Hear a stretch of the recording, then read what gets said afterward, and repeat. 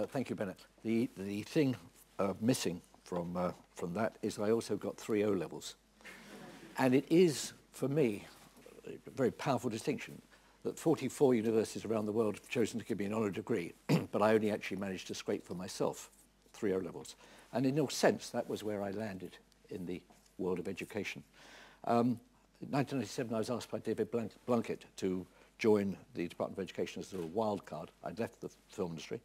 And um, my job was to go out and about and see what's happening in the schools, and particularly with teachers.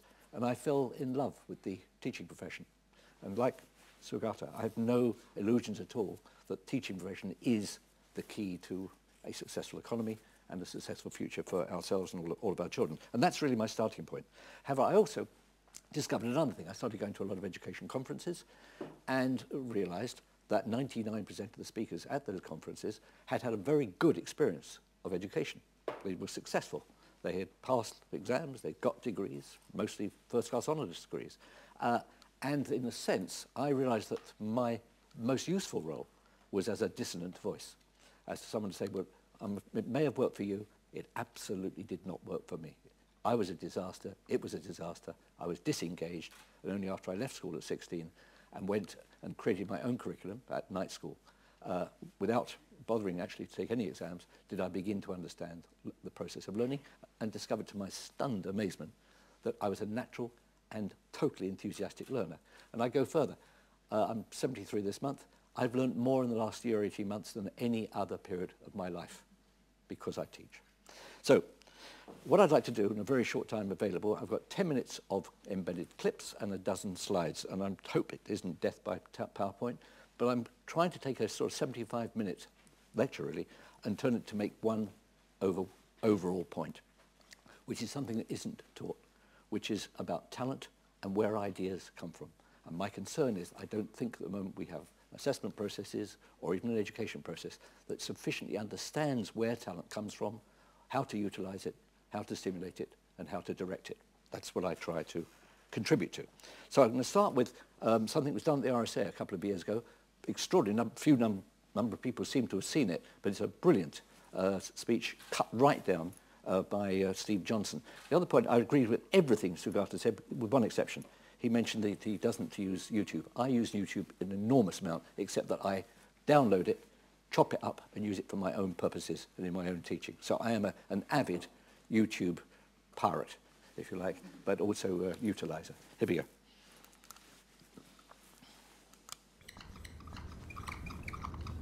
For the past five years, I've been investigating this question of where good ideas come from. It's the kind of problem I think all of us are intrinsically interested in. We want to be more creative. We want to come up with better ideas. We want our organizations to be more innovative. I've looked at this problem from an environmental perspective. What are the spaces that have historically led to unusual rates of creativity and innovation? And what I've found in all of these systems, there are these recurring patterns that you see again and again that are crucial to creating environments that are unusually innovative. One pattern I call the slow hunch, that breakthrough ideas almost never come in a moment of great insight, in a sudden stroke of inspiration. Most important ideas take a long time to evolve, and they spend a long time dormant in the background. It isn't until the idea has had two or three years, sometimes 10 or 20 years to mature, that it suddenly becomes accessible to you and useful to you in a certain way. And this is partially because good ideas normally come from the collision between smaller hunches so that they form something bigger than themselves.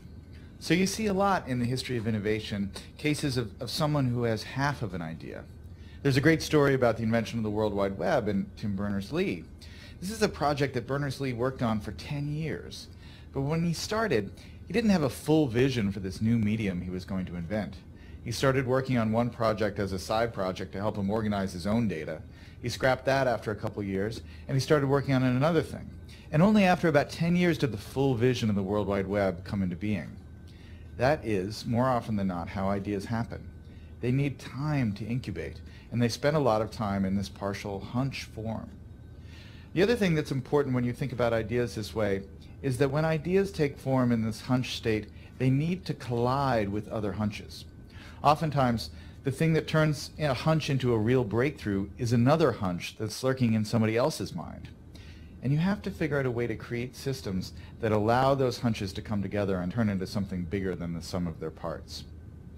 That's why, for instance, the coffee house in the age of the Enlightenment or the Parisian salons of, of modernism were such engines of creativity because they created a space where ideas could mingle and swap and create new forms. When you look at the problem of innovation from this perspective, it sheds a lot of important light on the debate we've been having recently about what the internet is doing to our brains. Are we getting overwhelmed with an always connected multitasking lifestyle? And is that going to lead to less sophisticated thoughts as we move away from the slower, deeper, contemplative state of reading, for instance? Obviously, I'm a big fan of reading. But I think it's important to remember that the great driver of scientific innovation and technological innovation has been the historic increase in connectivity and our ability to reach out and exchange ideas with other people and to borrow other people's hunches and combine them with our hunches and turn them into something new. That really has, I think, been more than anything else the primary engine of creativity and innovation over the last 600 or 700 years. And so yes, it's true we're more distracted. But what has happened that is really miraculous and marvelous over the last 15 years is that we have so many new ways to connect and so many new ways to reach out and find other people who have that missing piece that will complete the idea we're working on or to stumble serendipitously across some amazing new piece of information that we can use to build and improve our own ideas. That's the real lesson of where good ideas come from, that chance favors the connected mind. Now, I profoundly believe that, and it strikes me that most classrooms, uh, most certainly most sixth forms, would gain a very great deal from looking at and discussing that. So I've established that I was not a, an academic success, but I did have passions. This is my passion, comics. I read comics avidly. I was able to my pocket money to buy about three, and I'd take them to school and I'd swap. But quite quickly, I moved from the very simple comics, Beano and Dandy, to rather more complicated comics. And these were story comics. These were 1,200 word stories, uh, mostly pretty heroic, about people doing extraordinary things. Obviously, a big emphasis on sport, uh, but they were an incredibly important source of information to, for me at the ages of uh, seven, eight, nine. Uh, really very important. So the stories. Now, I don't think I was remotely unusual. I would guess that a third of certainly boys and maybe girls uh, at schools, at primary school in the UK and, on, and in transition years, read and enjoy one form or another of comics. I was luckier than most um, because uh, on the left here is my father. I didn't meet my father till I was uh, five years old because he was away fighting in the war. So to me, he was a totally heroic figure and very, very easy to identify with the characters that I read about in the comics. So I felt I had a personal connection with the stuff I was reading. My hero was a man called Alf Tupper. Alf Tupper was the classic, classic working class hero. He came from an extremely impoverished family. He was actually an orphan, lived with his aunt, uh, was a brilliantly talented runner, uh, and was very involved in a sort of permanent class war, um, running against the boys from the public schools uh, and attempting, and most, more often than not, beating him. So Alf Tupper was a really important character. The next important character, and the slide missing, here's, here's how to mention her, turned up. So here we are, we're in 19, what are we, 1952, 53. In 1964, uh, the Tokyo Olympics occurred, and um, I watched them avidly. I liked athletics a lot, largely as a result of Alf, and I discovered a new hero, a woman named uh, Ann Packer. Ann Packer won the 800 meters gold medal in a new world record and was quite remarkable. I'll come back to her in a moment. Uh, now we jump forward from 64 to 78. 1978, I picked up this book in a, I got it from an old bookshop in Los Angeles and found this single paragraph about this man I'd never heard of at all, called Eric Liddell, who, similar to Ann Packer, won the 400 metres in the 1924 Olympics, completely unfancied, and like her, had seldom, if ever, in fact, the both, both of them on two occasions, had ever run these particular distances before. So they're both pretty remarkable stories. I took it along to a writer I knew, Colin Welland. He wrote The Treatment, that's on the left here, was actually originally called Runners, delivered to me in July 1978. And uh, the story of Chariots of Fire goes from there. But The truth is, had I the time, I could make exactly the same story I'm about to tell, I'm about to tell you about a dozen, well, certainly, certainly eight other movies that I produced. In 1992, I did a program for the BBC, which I've taken, cut, edited in order to try and make my overall point. Here it is. In 1964, I was 23 years old. I was pursuing a career in advertising, and doing okay. I think I probably took more notice of that Tokyo Olympics because I was an almost precise contemporary of the people who were going for the medals. And so I identified with them very strongly. And probably because she was particularly pretty, I identified with Ann Packer.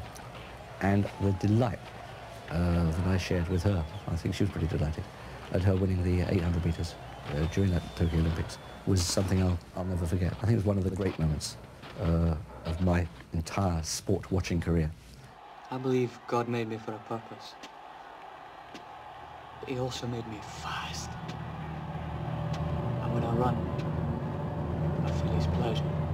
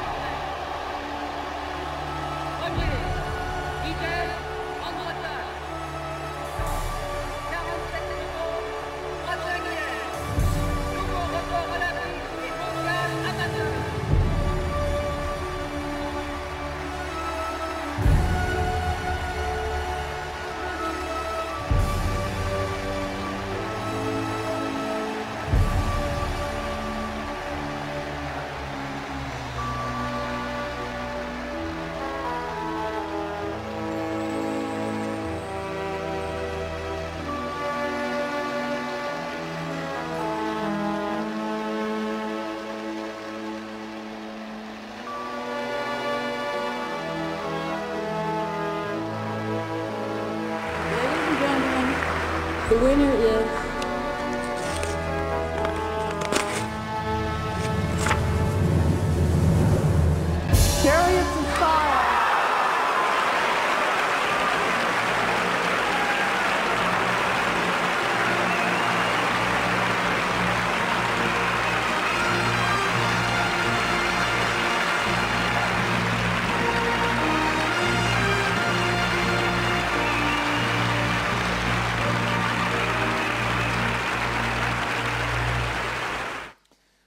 sorry if it ends in a rather hubristic way, but there's a point I want to make here. There is a precise relationship, precise relationship between Alf Tupper, Ann Packer, Eric Liddell, and Chariots of Fire. Where, A, do you teach that, and when, and how do you assess it? And how do you create young, a generation of young people who understand that the ideas they're gaining at primary school, at secondary school, can actually be utilized and be enormously important them. The reason I use the clip on the end of getting the, the, the, um, the Oscar is very simply, that is my validation. The reason I can go around the world, possibly the reason I've got 22 of the 44 Academy um, honorary degrees for all I know, is because of that moment. If I come second that day, just as if Eric Liddell had come second that day, or Ann Packer had come second that day, that entire house of cards would not have been ever, ever have, have, would have collapsed. And the point I'm trying to make is, it is about, and here's next slide, it's about identity. Cinema is about identity. Life, I think, is about identity. School is about identity. Who do young people leave school with a strong sense of identity with? And what do they leave school with a strong sense of identity with as they then go on into their lives? Identity is crucial. What I teach is creativity. I teach that creativity is a muscle. It's not magic. There are a few geniuses, but they're statistically irrelevant.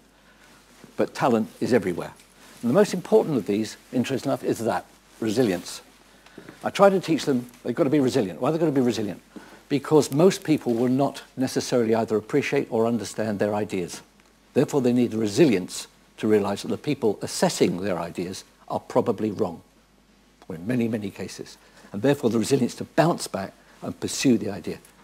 I cannot tell you how many studios and people I tried to persuade to make uh, Chariots of Fire, and Lord knows, Bugsy Malone, try and imagine going into studios and asking for finance for a film that only starred 12-year-olds. It was not easy. So it is resilience. I'm nearly finished. Um, I hope I'm nearly finished. Um, when I teach, I use this because I check the tweets afterwards whenever I've taught or lectured. This, is, this line here is the one that comes up. CDP is the ad agency I worked with, uh, with Alan Parker, Ridley Scott and others.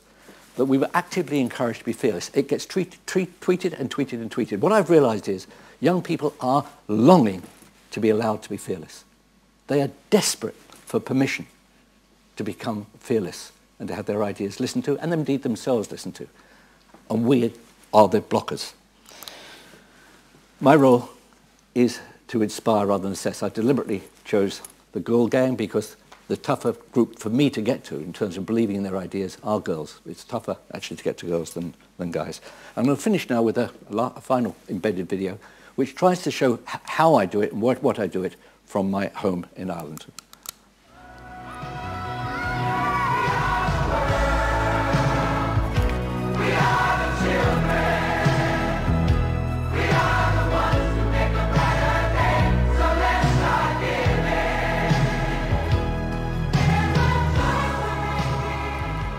So this is where I work from each or most Mondays and Fridays, uh, doing seminars to universities at the moment in four universities around the world, uh, next year six.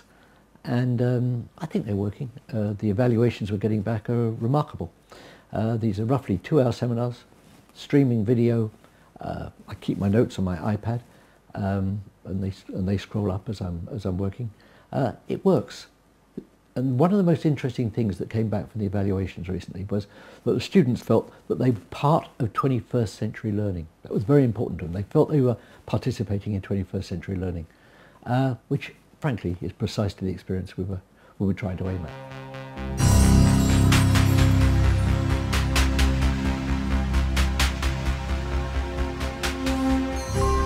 Cinema and television, in my judgment, are without question the most socially influential mass media of the early 21st century.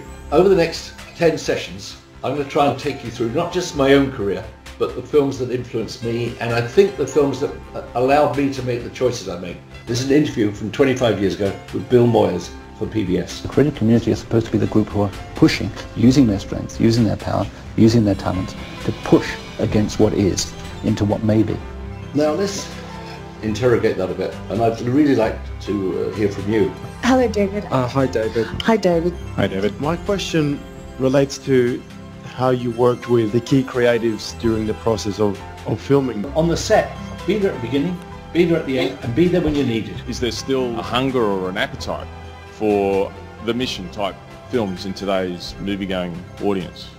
What those films were, I would argue, was a salve. They allow people to feel that there was a better world out there and that they themselves were capable of better. And I think that is the role of filmmakers. Politicians, by definition, can never be part of moving society forward because they're always trying to catch up with where society is. Our job, your job, is to move society forward. The film is yours. It's yours, it's the writers, it's the directors. It has to come from within you. If it doesn't, it's empty and it's a product. Everything is about the choices you make.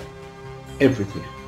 Not just the people you work with, the themes you choose, the way in which you conduct your life, the things that are important to you, the way you use your time. It is all about choices. Our job is to be difficult because despite everything I've just said to you, I actually think cinema can represent hope. But it only will represent hope if you believe it and if you believe the medium is powerful enough to deliver that. So I, I would have thought for an overall set a title for the whole set, uh, series of seminars, yeah, the cinema of hope would be something that I'd be very, very comfortable with.